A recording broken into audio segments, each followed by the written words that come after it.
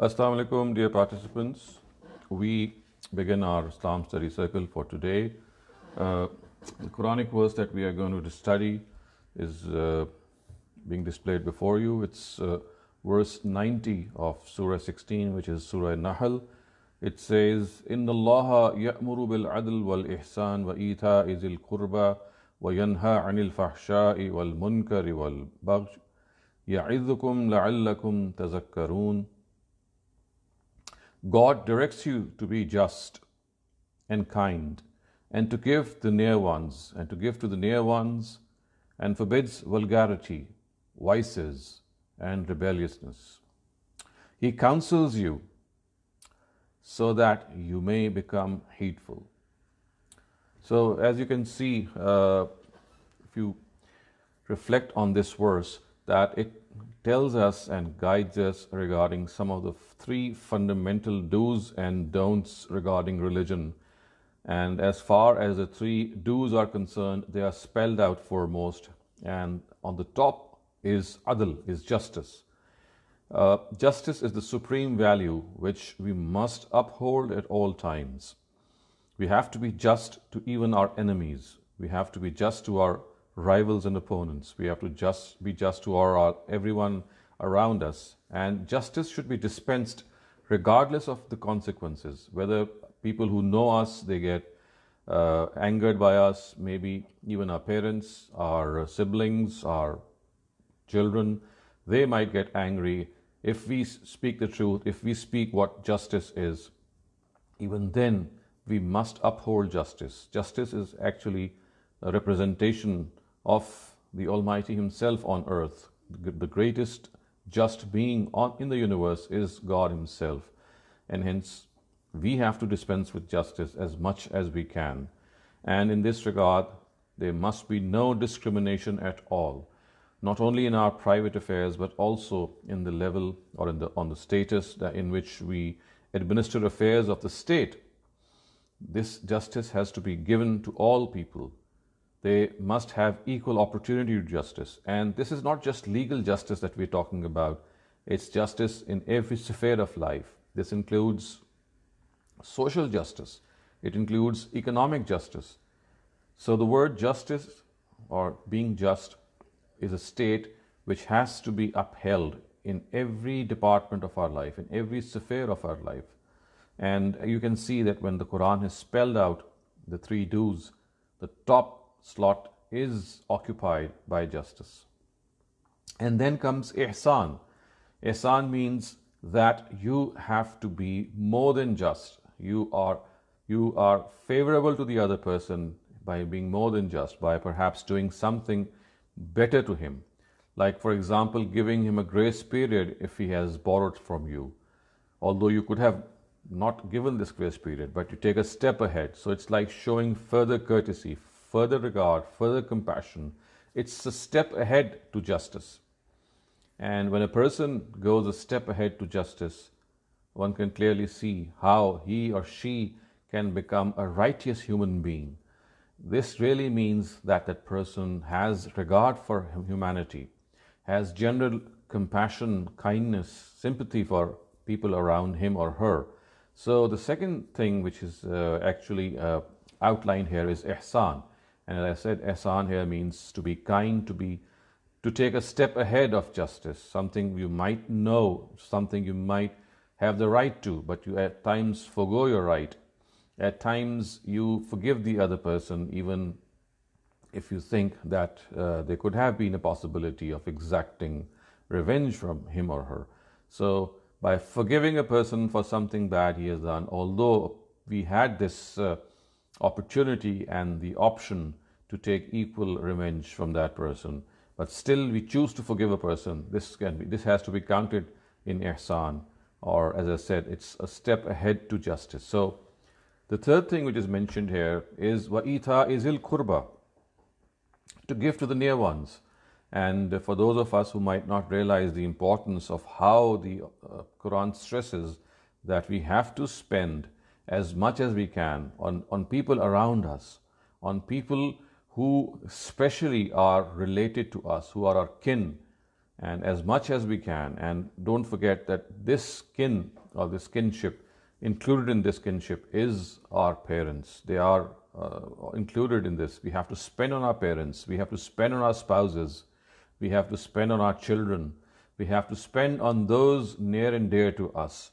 And it's not just spending which is uh, outlined here, it is whatever we can give them. At times it could be good advice, at times it could be perhaps uh, even your own time and, and uh, providing them with the opportunity to share with you what they have to tell you.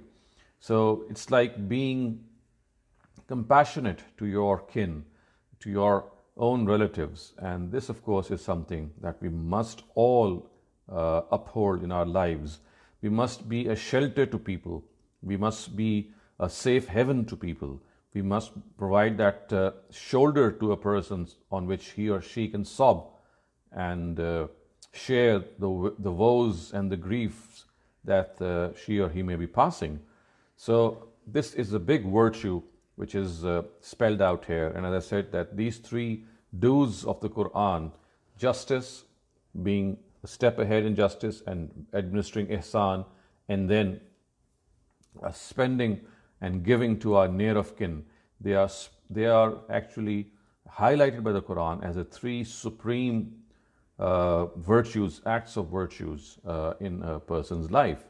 And on the same, by the same token, we have three things from which we have been forbidden. The first of them is fahsha, which means acts of vulgarity, like, for example, extramarital relations, like, for example, displaying our private parts in a manner that it becomes uh, extremely uh, indecent so, all these uh, acts of nudity, all these acts of licentiousness and vulgarity, they have to be forbidden. And why? Because you see, religion lays its stress on the system and institution of family. And whenever there is this, this display of vulgarity in a family or in a society, it dents this institution of family because then what happens is that one's sexual urges and inclinations they are not they are not specified or they, they do not remain specific for one spouse.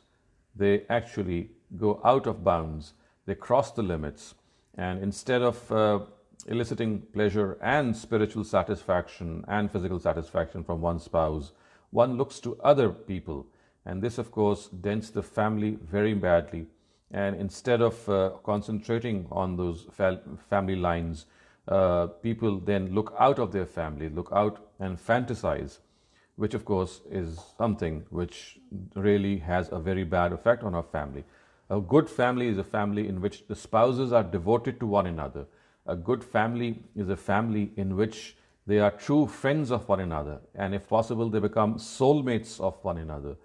They are a good family is a family in which the husband and the wife they form a beautiful whole. They form a beautiful unified whole and they are also a means of uh, rearing and nourishing a family in which they are able to inculcate basic human values. So this all this is essential.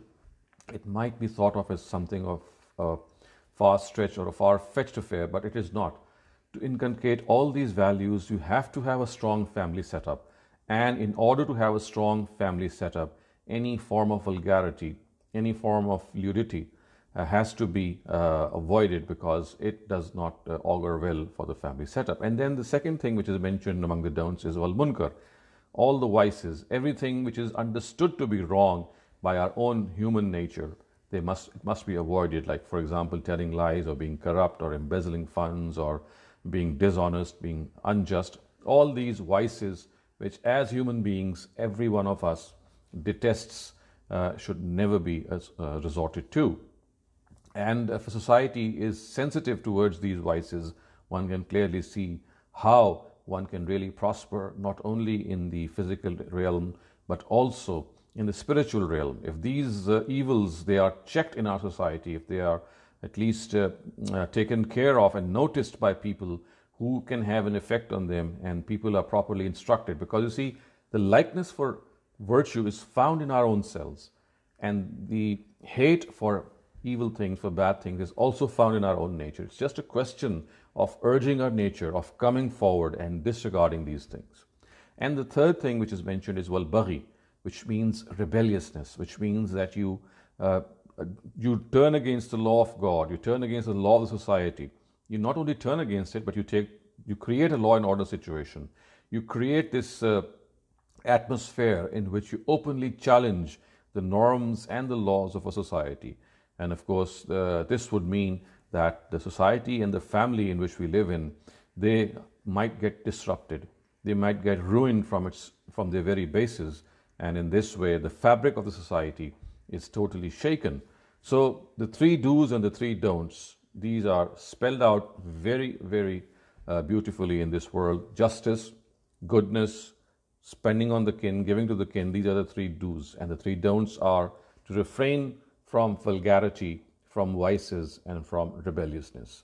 And the verse ends by saying, يَعِذُكُمْ لَعَلَّكُمْ تَذَكَّرُونَ That God counsels you that you may become heedful, that the Almighty actually gives us this uh, advice by adopting these three things and by from refraining from these three things so that we are able to succeed in our lives.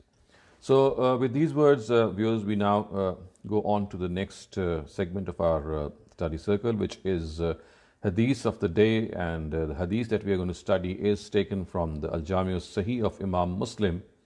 Its words are, it's reported by a reputed companion of the Prophet Abdullah bin Masud. It says, An Abdullah bin Masud and Nabi sallallahu alayhi wasallam قال لا يدخل الجنة من كان في قلبه مثقال ذرة من كبر قال رجل إن الرجل يحب أن يكون صوبه حسنا ونعله حسنا قال إن الله جميل ويحب الجمال الكبر بطر الحق وغمط الناس So these are sublime words which really come out of the mouths of the prophets of God and they really uh, touch our hearts. So Abdullah bin Masud reports that the Prophet said, A person in whose hearts is the slightest trace of arrogance will not enter paradise. Person asked, A person likes that his clothes be nice and his shoes also be nice. Is this not arrogance? The Prophet replied, God is beautiful and likes what is beautiful. Arrogance actually means denying the truth and regarding people to be inferior. So one can see how beautifully the Prophet has uh, narrated and stated the true meaning of arrogance and he has vehemently denied the fact that if you wear good clothes, or if you wear good apparel, good shoes, don't think that this is this should be counted as something of an arrogance, of an arrogant behavior, or haughtiness, or the fact that you are showing off. No. Uh, the answer which is given by the prophet is that God himself is beautiful and he likes what is what beauty is. So this aesthetic sense that he has blessed us with is something which comes to us naturally. If we dress up good, it does not show that we are arrogant at all. And then the Prophet has actually interjected and said that what actually constitutes arrogance uh, is two things. One of them is batrul haq, which means denying the truth, even when it is apparent to us. When we know what the truth is, when we know what justice is, what the truth is, and even then we deliberately deny, we purposefully deny, that particular truth, then that constitutes arrogance. And the second thing which the Prophet has said is ghamatun nas, which means regarding people to be inferior. We regard ourselves to be superior and we regard people to be inferior. This is what arrogance is. So, arrogance is not wearing good clothes. Arrogance is not uh, being a, a, person who would like to uh, wear good clothes, but arrogance actually means that we have disregard for people we think that they are inferior to us, and we also deny the truth which comes to us. And this truth can come to us from any person. It could be someone whom we like, it could be someone who is perhaps our adversary, who is our rival. But if it is the truth, and whatever is the truth, we are expected to rise to the occasion. We are expected to accept the truth. And if we deny the truth, and remember, this is actually a big big punishment which is mentioned in the Quran. People often ask that why is it that the Quran eh, has shown harshness in some of its verses and it really has something very bad to say about people. At certain instances.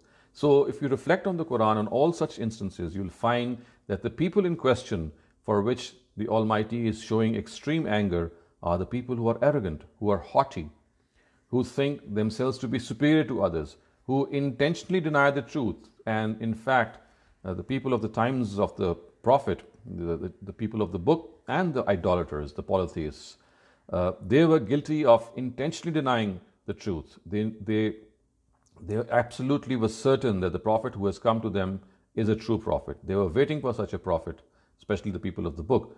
But when he came to them, in spite of recognizing them, out of sheer arrogance, uh, they denied him. And this actually evoked the wrath of God.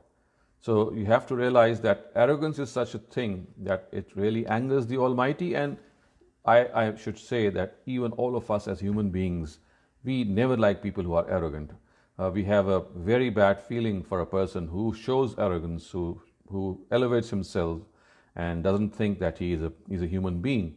And it is here that the Almighty has said that such people, if they do so, then they are guilty of arrogance. Wearing good clothes or new clothes or shoes or dressing up should not be counted as arrogance at all. Now, let us come to the third part of our uh, study circle views, and this is the Bible verse of the day. And the Bible verse of the day, which I have selected, is uh, to just to inform you how, in fact, the Bible is perhaps, or let me just elaborate. When I say the Bible, I refer not only to, I, I, I specifically refer to the Old Testament and to the New Testament uh, and to the Psalms of David, which were the three preceding books or the first three books of Islam. So instead of thinking that they are books of uh, Jews or Christians or the followers of David, no, that's not the correct presentation. We will say that there are four books, four known books at the moment. Of course, there were other books as well, which were lost to posterity. But there are four books that have survived. All of them are books of Islam because the religion which was revealed to all the prophets of God was Islam, the same religion. And hence, I would say that the Old Testament, as it survives today, is the first book of Islam. And the Psalms of David is the second surviving book of Islam. And similarly, the New Testament of Jesus is the third surviving book of Islam, and the Quran is the fourth and final book of Islam. So, this is the presentation that we need to make and we need to understand and if we make this presentation, we can clearly see that we must start off by studying the first, second, and third books of Islam as well. It's not just that the Quran is to be studied. Each and every divine scripture must be studied because it's equally the revelation of the Almighty. And here I do make a case for you, uh, dear viewers, to see that how Surah Fatiha, which is so fundamental to our uh, prayer and to our life, that every single child born is taught this surah because he or she has to read it in every rakat of the prayer and everyone knows it by heart. And you can see how this same Surah Fatiha, although in different words, is found in the Old Testament, it is found in the Psalms of David, and it is also found in the New Testament. And uh, of course, there are the words were different slightly, but the, the, the subject matter is so similar that one can clearly spot uh, these surahs the way they are mentioned in the previous scriptures. So, uh, if I just uh, read out to you from the Old Testament, of course, these quotations are extensive, but I'll just pick and choose. Uh, the book of Leviticus, uh, chapter number 19 and verse 18. It says, Do not make attempts to get equal with one who has done you wrong, or keep hard feelings against the children of your people but have love for your neighbor as for yourself. Remember, this is how uh, loving thy neighbor as thyself, as mentioned in one of the commands of the New Testament, how it is actually reflected even in the Old Testament. And then we have the book of Exodus, uh, chapter 34, verses 6 and 7 says, The Lord, the Lord, a God full of pity and grace, show, slow to wrath and great in mercy and faith. Alhamdulillah, is preceded by the words, Ar-Rahman Ar-Rahim and see how they match God full of pity and grace, slow to wrath and great in mercy and faith, having mercy on thousands, overlooking evil and wrongdoing and sin. He will not let wrongdoers go free. He will not let wrongdoers go free, but will send punishment on children for the sins of their fathers and on their children's children to the third and fourth generation. Of course, this is a special, this has a special context in which the children of uh, Israel or the Israelites, they had to face a special law of the Almighty in which because they were the progeny of the prophets of God and were actually instituted as witness of truth unto mankind on this earth, they had a special law to reckon with, and this not be confused with the general law as well. So you can see how closely these words resemble uh, the Surah Fatiha that we study today in our uh, in the Quran.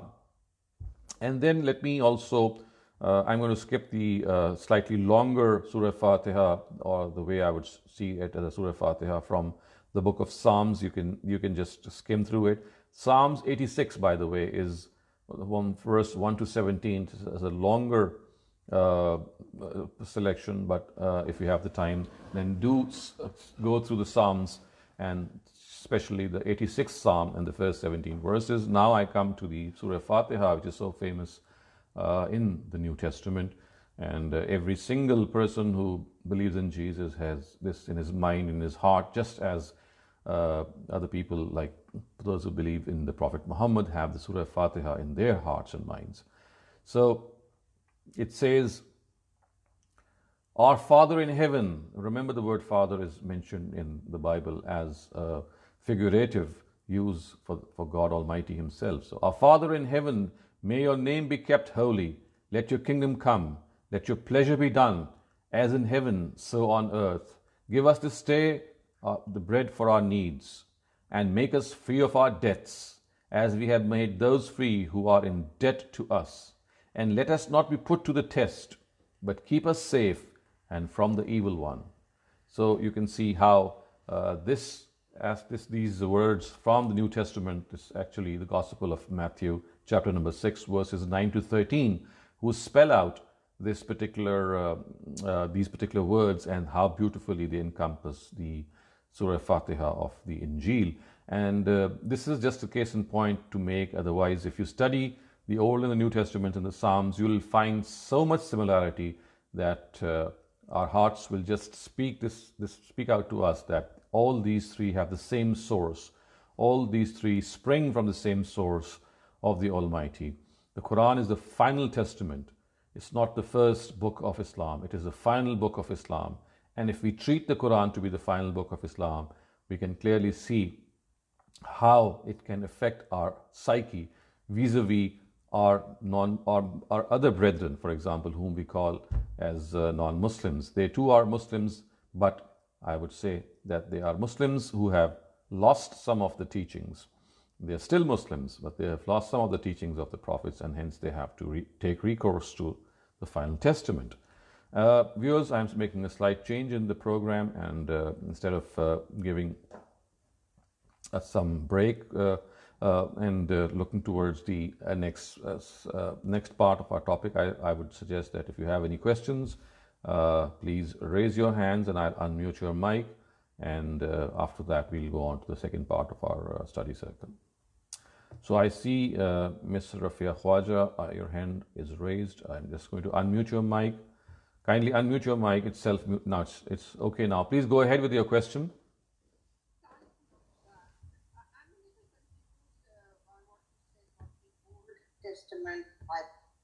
In, in the New Testament, did St. Paul change things? And so what we see, what we call Christianity today, is different from the Old Testament?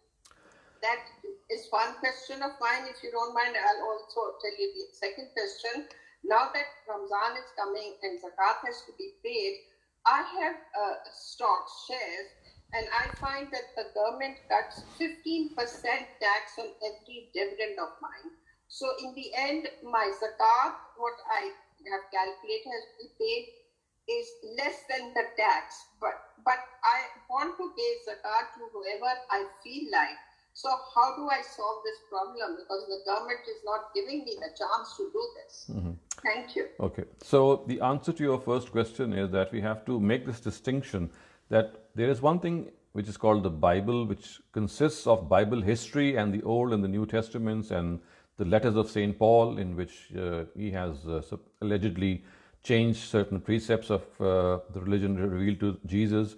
And uh, then there is one thing as, as the New Testament itself. So if you look at Bible history, you'll see that it has been uh, written in a way that there have been interpolations and additions and deletions. But as far as the New Testament and Old Testament are concerned, to the best of my ability, I have yet to find anything which is different from the Quran. Every single thing is actually from the Quran. As far as St. Paul is concerned, he made uh, uh, made a step ahead uh, and he actually revoked the Sharia, the revoked the law uh, from the Bible and said that it is not meant for us who believe in, in Jesus. Uh, and uh, this is what they said, and this is the step he, he took, and hence.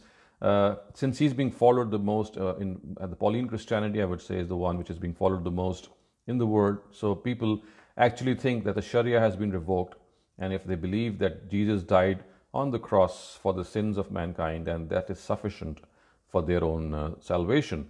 This is what St. Paul has taught. But what I'm talking of is the New or the Old Testament themselves. It's like saying that whatever Paul, St. Paul has taught is something of uh, of an ijtihad maybe or whatever he thought was right. But as far as the books of God are concerned, they are still intact. The only thing is that they are the previous testaments have not, are not preserved in their original language.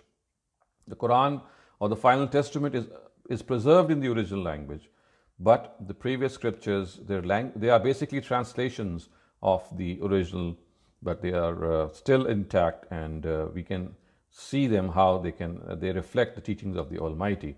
And we also should know that, uh, for example, in the case of the New Testament, uh, the language of Jesus was Syriac, but the first New Testament or the first Gospel was written, as it is said, 70 years up, uh, or 70 AD in Greek, and it was never written in Syriac. So we can see how the connection is between that. We don't have the original language, but as I said, uh, whatever Paul has said and whatever Pauline Christianity uh, represents is one thing, and what the Bible is or the New Testament is, it is simply another thing. What Paul has done is he just said that we need, we need not follow the precepts of the law uh, and believing in Jesus that he sacrificed himself on the cross for the sins of mankind is sufficient. But this is not what the New Testament says at all.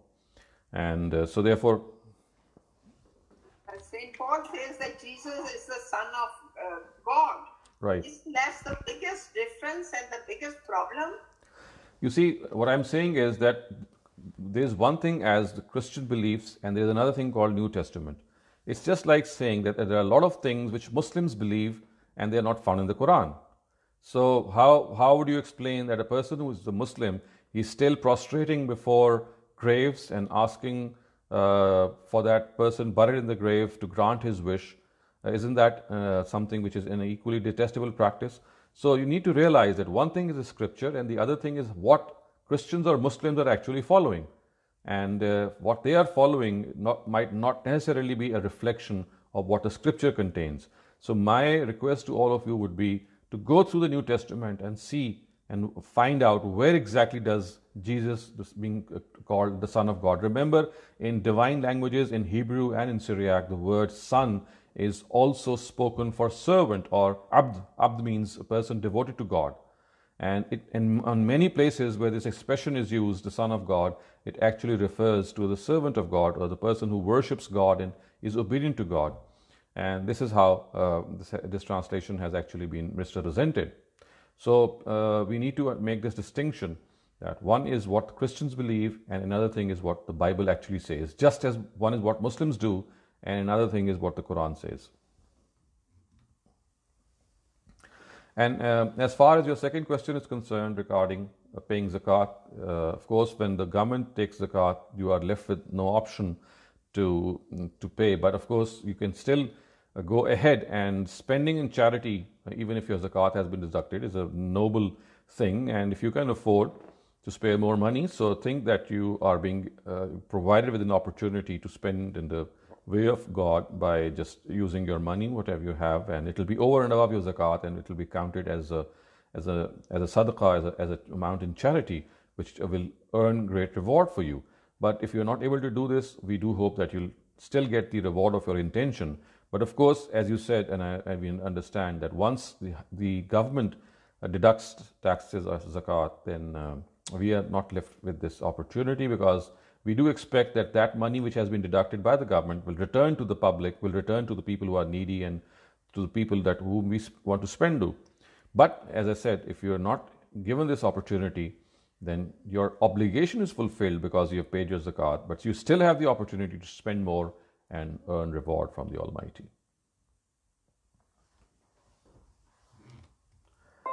So, uh, viewers, let's uh, move on to the next part of our uh, study segment, and uh, this uh, uh, this time we're going to perhaps talk about a very important aspect of our lives, which we come across every day, and that is how can we exercise self-control and patience. Now, you can clearly see that as human beings, there are so many instances in which we have to control ourselves we have to be patient. We have to be steadfast. We have to believe that there's something good hidden for us, although we might not be perhaps realizing at that instant. So, patience and self control, they are the key to, to a human life, to, to a life that all of us uh, cherish to lead, a life in which we resign ourselves to the will of God while at the same time not giving up on the efforts that we need to make. So, when we say that we give up to the will of God, it does not mean that we are helpless. It only means that we do our best and leave the rest to God. So, that is what the true meaning of patience is that never give up, but don't get frustrated at the results because the results in our is they are not in our hands.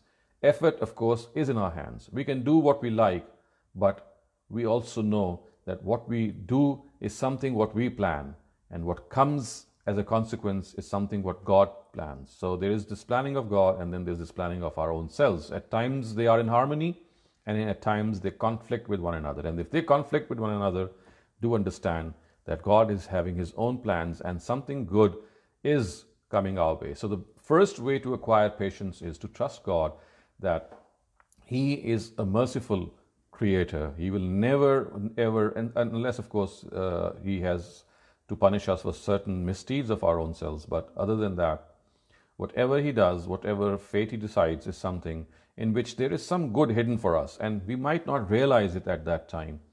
And but if we do uh, show patience, then on hindsight, in hindsight, when we look back, we often see that what had happened earlier on was for the better, was for the good. And uh, the biggest example of this, perhaps, is mentioned in the Quran when you study the episode of Moses and Khizr mentioned in Surah Kahf, in which uh, Khizr, uh, angel of God, has did something which Moses never understood on three occasions, and each time he questioned him, and each time Khizr replied that in sabra that you'll not be able to show the same patience with me because I will be doing something which you would not be able to contain yourself to question.